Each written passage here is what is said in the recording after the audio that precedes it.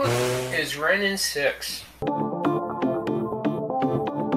Hello and welcome back to the Signature Spellbomb YouTube channel. If you want to support us, please visit any of these sites. I've got up on screen now. And let's get right into it. Today I'm going to be talking about the new Wrenn and 7 Shadows over Innistrad Planeswalker card and how it may fit into Oathbreaker. This is going to be a slightly different video from how I usually do things since I just didn't really like the previous format. So let's start out with the lore. I do like to know the background of my Planeswalkers so I can build around them and better understand who they are as a character. I have nothing. I have nothing at all. I have no idea who this guy is. There is no lore. The only lore we have is this guy Gundam suits trees to walk around and fight in, and it looks like he's got a different tree each time. There is some throw throwaway card stuff that says that he's awakening these trees. It says, you know, when he awakens number seven, he actually talks to it. But in the lore for the Shadows over Innistrad set, there's not really a main mention of him as a character, and just to be sure when I read the three chapters that have currently been released of the story, I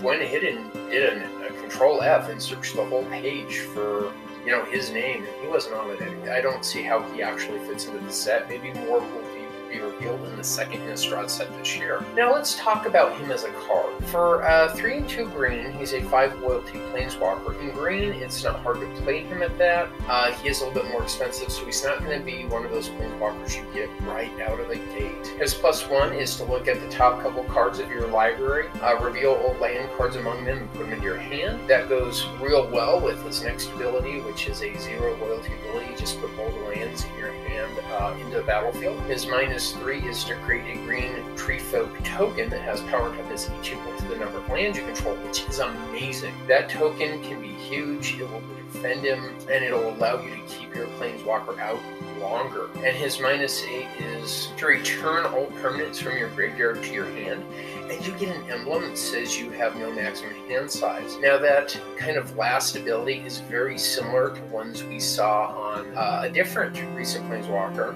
Uh, I believe we saw something similar on Mordenkainen, was Mordenkainen cared about how big our hands were due to draw and made tokens that cared about, you know, size of our hand. Wrenn and 6 is the green version of that, caring about our lands. As far as playability, he's incredibly playable, and as for suggestions for how I play him, there's three different types of green signature spells I feel work well with Wrenn. The first is trample signature spells because he's going to create you some huge tokens and you want to make sure they get through, and we don't know how many. The second is signature spells that will get us lands and ramp us since it's 40 something clearly wants to do is to run more lands in his deck to enable his other abilities. Along that line, there are ramp spells that will make creatures um, that will make our forests into living creatures, that's important to keep in mind. Um, do we want to attack with tree folk and build a tree folk centric deck, or do we want to bash it with our lands? And you know, the third type of spell is basically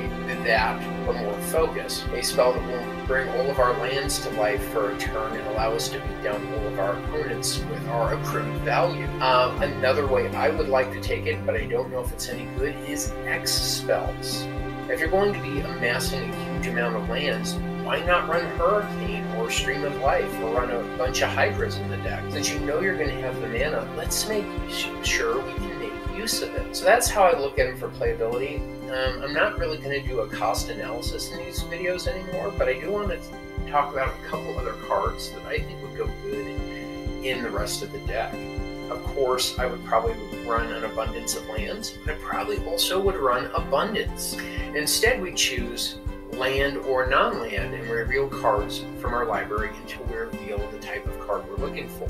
This can control our draws and make sure we're getting exactly what we need. These are the type of spells I would look out for.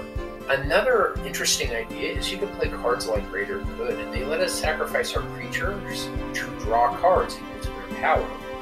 There is a discard piece to this element, but since Wrenn will get us cards from our graveyard back to our hand, this card is uniquely perfect for sacrificing our huge tree folk, drawing a bunch of cards, um, discarding a bunch of cards, and getting those cards back later. So those are my thoughts on our new Planeswalker in 7 out of Innistrad Midnight Hunt.